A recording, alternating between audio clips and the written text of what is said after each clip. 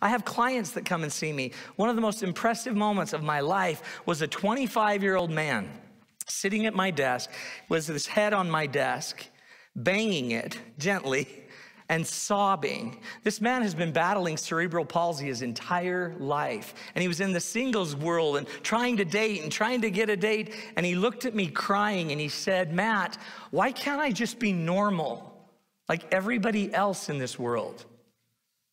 And in my head, I'm like, loin boy, jam bomber. I had a 17 year old girl come to my office.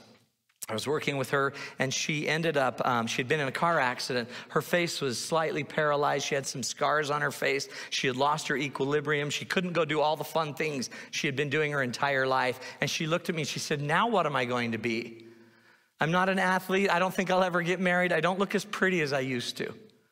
I've had people that are depressed and anxious that have I've worked with, people with ADHD. We have all of these things going on with us and we forget who we are. And none of that is who we are.